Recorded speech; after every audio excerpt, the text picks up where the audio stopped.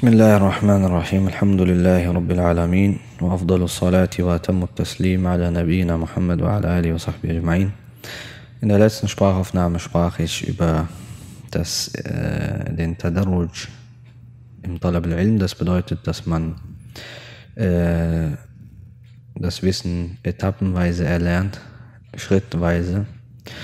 Und äh, dazu gehört es, dass man mit kleinen Wissenschaften beginnt oder beziehungsweise mit gewissen Einführungen in die Wissenschaften, mit entsprechender Literatur, die für das Niveau eines Anfängers zum Beispiel äh, geeignet ist. Es ist ein schwerwiegender Methodenfehler, dass man mit Literatur beginnt, die nicht für dich geschnitten ist. Ja, beispielsweise, dass man äh, e-, egal in welcher Wissenschaft, sei es der Tafsir oder der Fiqh oder die Grammatik, die Morphologie, die Rhetorik, die, was auch immer das für ein Fach sein mag, mit den großen und gigantischen Büchern zu beginnen, ist ein schwerwiegender Fehler. Und eine Person, die das tut, wird in der Regel zu 99,9 Prozent nichts werden. Sie wird schon recht früh einknicken, wenn sie merkt, das ist alles einfach viel zu schwer und komplex und in der Masse und Menge einfach viel zu viel. Der wird dann denken, dieses Wissen, das können nur Leute erhalten, die irgendwie ganz besondere Genies sind oder die mit ganz besonderen Fähigkeiten ausgestattet sind, für die Normalsterblichen ist sowas nichts. Und das kommt halt davon, wenn man von Stufe 1 direkt auf Stufe 10 springt. Das Problem bei einem Anfänger ist aber, dass er gar nicht weiß, was für wen geeignet ist und was für ihn selbst geeignet ist. Genauso wie er nicht weiß, wer, er kann nicht unterscheiden von wissend und nicht wissend. Ein Nichtwissender kann selbst nicht wissen, wer ein Alim ist beispielsweise. Er weiß ja nicht, was das Wissen ist. Und wenn er nicht weiß, was das Wissen ist, kann er auch nicht differenzieren zwischen den Menschen, die tatsächlich wissend sind und nicht wissend sind. Das ist nicht die Aufgabe des Jahil, zu entscheiden, wer was ist, denn dazu fehlt ihm einfach das Wissen selbst. Daher sagt man, gibt es in der arabischen Sprache das eigentlich ein Prinzip, auch im Fiqh, im Usul al-Fiqh oder im Allgemeinen eine, ein Prinzip und eine Norm. Al-Hukmu al-Shay far'un an tasawwurihi. Etwas zu beurteilen erfordert erstmals eine Vorstellung darüber zu haben. Eine, eine Vorstellung über seine Definition, über seine tatsächliche Bedeutung.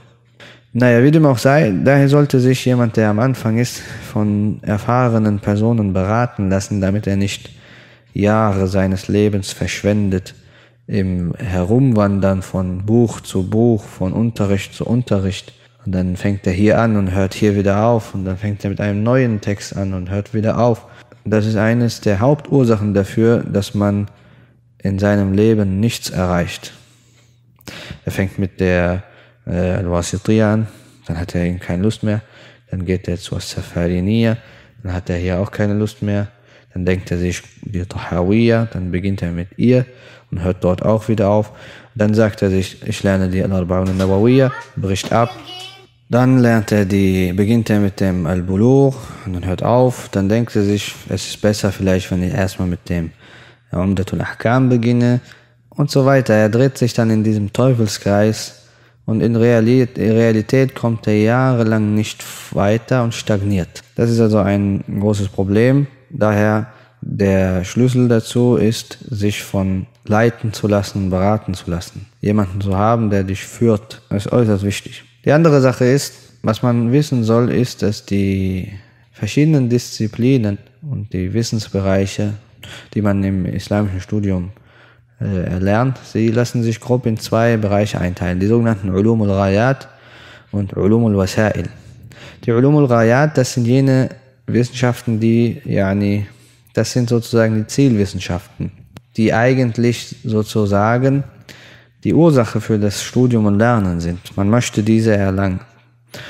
Und dann gibt es aber die sogenannten Ulumul Wasail, das heißt Schlüsselwissenschaften oder Wissenschaften, die yani sozusagen ein Mittel zum Zweck sind. Was bedeutet das? Wenn du eine Schraube öffnen willst, brauchst du einen Schraubenzieher. Wenn du ein Schloss öffnen willst, brauchst du einen Schlüssel. Wenn du diese Zielwissenschaften der Scharia studieren willst, brauchst du auch gewisse Mittel und Werkzeuge, um dich daran zu machen. Und diese Werkzeuge, das, diese bezeichnen wir als die Ulumul Wasail. Dazu gehört zum Beispiel die arabische Sprache mit all ihren Wissenschaften. Und die wichtigsten Wissenschaften der arabischen Sprache sind vier. Die, die Grammatik und die äh, Ilm al-Ma'ajim, das heißt das Wissen über die einzelnen Ausdrücke und ihre Bedeutungen, Linguistik, ähm, As-Sarf, die Morphologie und die Rhetorik mit, ihren, mit all ihren Facetten. Daher sagte Shatibi, das ist ein ganz interessanter Punkt, Shatibi sagte, dass es einen sehr starken Konnex gibt zwischen der arabischen Sprache und den Wissenschaften der Scharia. Er sagte, wer stark in der arabischen Sprache ist, wer stark in den arabischen Wissenschaften ist, der ist auch stark in den islamischen Wissenschaften, in den schariatischen Wissenschaften. Wer schwach ist, der wird auch unvermeidlich, unausweichlich schwach sein in den schariatischen Wissenschaften. Und wer nur mittelmäßig darin ist, der wird nur mittelmäßig sein. Also wer schwach in den arabischen Wissenschaften ist, dem sein Wissen ist eigentlich yani etwas, worüber man etwas in yani, es ist etwas suspekt. Daher solltet ihr auch von äh, ja, eingangs wissen. Islamstudium nicht auf Arabisch, das ist eigentlich nur eine Traumvorstellung. Ich möchte den Islam studieren auf Englisch, auf Deutsch. Das ist eine Traumvorstellung.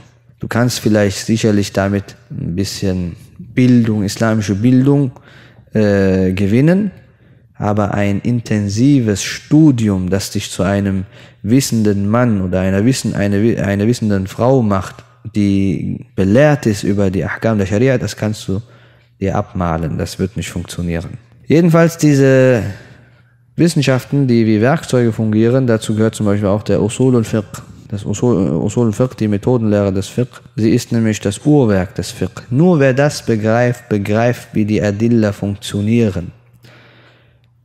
Es reicht nicht einfach nur irgendwelche Texte auswendig zu lernen und sagen, hier, das ist der, das ist der Dalil. Solange man die Methodenlehre nicht kennt, die Usul al-Fiqh, die ein, also ein Großteil davon basiert einfach auf die Ausdrücke und ihre Dilalat. Wer das nicht kennt, den bringen auch einzelne Texte nicht, selbst wenn er sie auswendig gelernt hat. Und danach, die, diese Wissenschaften sind also wichtig, sie sind der Zugang zu den Ulum al-Rayat. Die Ulum al-Rayat, also die Zielwissenschaften, dazu gehört zum Beispiel die Aqidah, dazu gehört der Hadith, also das Begreifen und Verstehen des Hadith, der Tafsir des Koran und so weiter. Deswegen sagte Al-Khatib al-Baghdadi, er sagte, Al-Ilmu huwa al-Fahmu wa al-Diraya, wa laysa al-Ikthar wa al-Tawassu' fi al-Riwaya.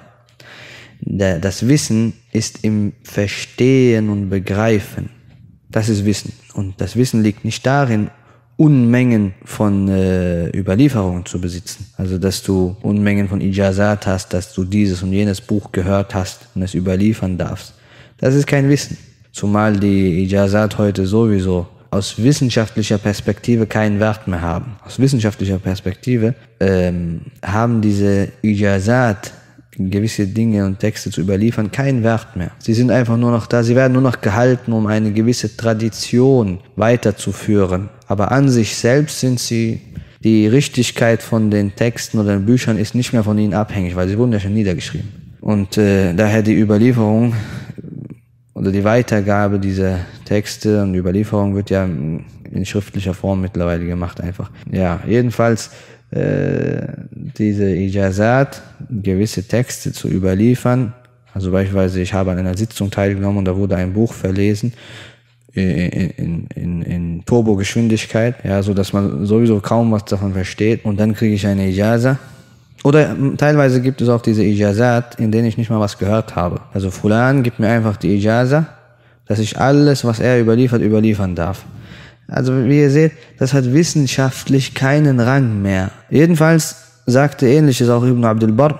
Er sagte, وَالَّذِي عَلَيْهِ جَمَاعَةُ فُقَهَاءِ الْمُسْلِمِينَ وَعُلَمَاؤُهُمْ ذَمُّ الْإِكْثَارِ دُونَ تَفَقُّهٍ وَلَا تَدَبُّرٍ Er sagte, die Mehrheit und Majorität der Fuqaha, der Muslime und ihrer Gelehrten sind der Auffassung, dass zu viel mannigfaltiges, ja, er meint Riwayat und auswendig lernen, äh, überliefern und das Sammeln von Ijazat und Asanid, dass das tadelnswert ist, ohne das Verstehen und Nachsinnen und Begreifen dieser Texte.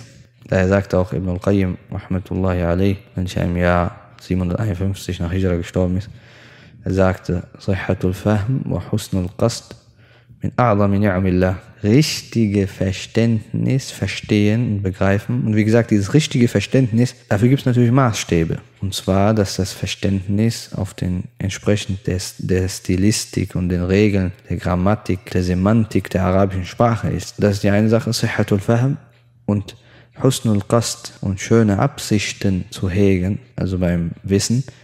Das, diese zwei Dinge sind die größten Gaben Allah Ta'ala, die er seinem Diener geben kann nach dem Islam.